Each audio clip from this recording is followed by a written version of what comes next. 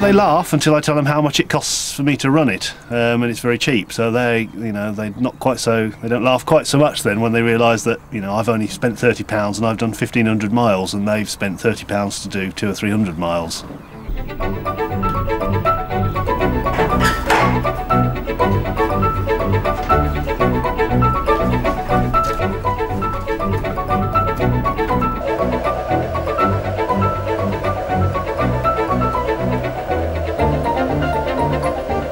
I don't do this every day. At the moment I'm getting a reading of 66 volts. I do this as a sort of check to make sure the instrumentation is working correctly and it's giving me a reliable reading. So this is just a, it's really only a monthly task. This is not an everyday thing. Every day you just rely on the normal instrumentation which is on the dashboard.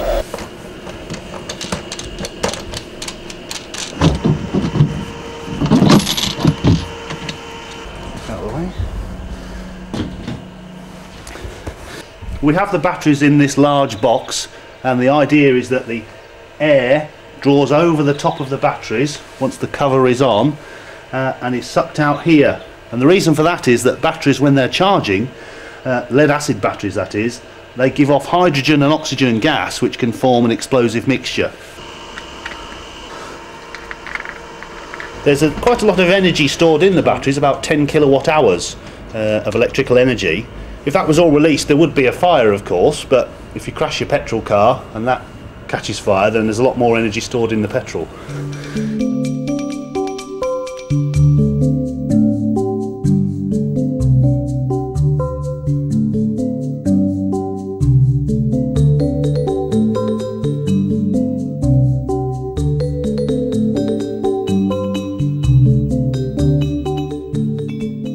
Made specially for electric vehicles. It's about 20 horsepower and runs on a voltage from about 60 to almost over 100 volts. At the moment I'm running it on about 60 volts. With the new batteries I'll be running it on about 100 volts so it give a much much improved performance.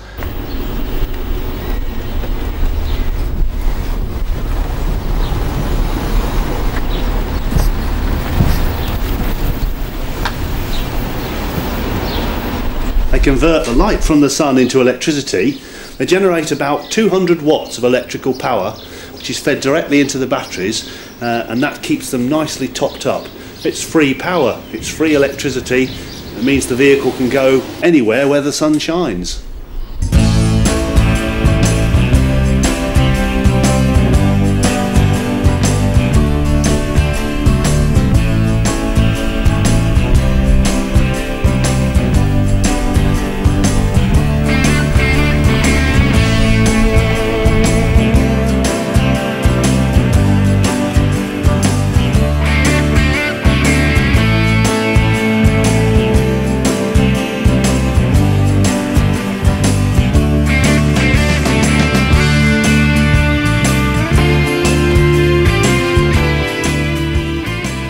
I looked around and I thought, ah, my transport backwards and forwards to work's not very environmentally friendly.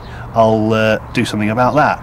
And I'd meddled around with electronics for a long time, so I thought I'll make an electric vehicle, um, noise-free, pollution-free, relatively cheap to run.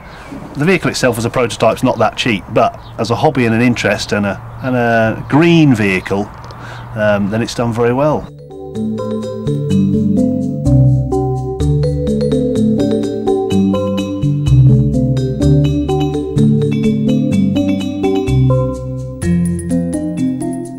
I'm probably regarded as a bit of an eccentric Englishman who's just done something strange.